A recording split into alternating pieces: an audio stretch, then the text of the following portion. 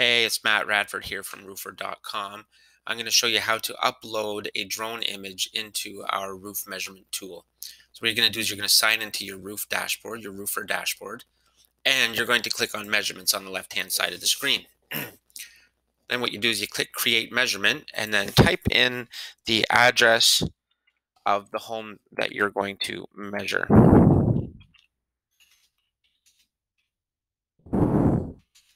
This is a childhood home that I had. And as you see, the imagery is very, very blurred in this rural area. So I have no other choice but to upload a drone image.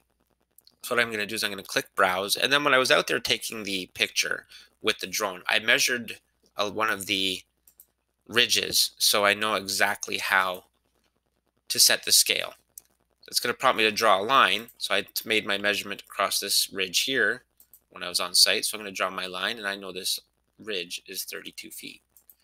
So I'll just enter it at 32 feet. And that's it. Your drone image is now uploaded, and you can start measuring.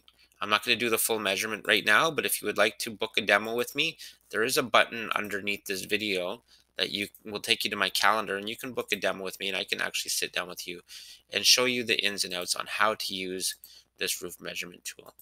Basically what you're going to do is you just go around, you draw your lines and you mark all your your your lines. If uh, when you're on site, make sure you have a pitch gauge finder. You can figure out what the pitch is and then you're going to enter in the pitch. And then the final product, once you have all your lines drawn, looks like this. So this is the complete roof, all done. All the lines are drawn, all the lines are marked. And what I get when it's all done, this costs nothing. This was totally free, just my time to go out and take the drone image. There's no fee to have, uh, there's no subscription fee. There's no cost to use this. It's 100% free for you to use. So this is the roof report that you get. And this cost me nothing other than my gas to drive out and take the picture. You got that your color image that you uploaded, your drone image. You have the footprint of the home. You have all your measurements, eaves, ridges, step flashings, valleys, rakes, transitions, hips, wall flashings, any unspecified areas. You have the square footage of each slope.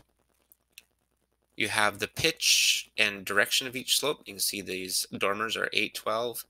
This transition point here is a 612 and the rest of the roof is 1212. And then this is your bread and butter. You have the total report here, all of your measurements that you need. You have the different areas of the different pitches. You have the total square footage of the whole home. And then you have the total square footage and number of squares based on waste factor. Something like this, I'd go probably with a 20% waste factor. So that would be the number I would use to bid this job. Okay, I hope this was helpful. Uh, like I said, if you want uh, a demo on how to use this roof measurement tool, there's a button underneath this video. Book a demo with me, and uh, I'll give you some tips and pointers on how to use this efficiently. Okay? Take care. Have a great day.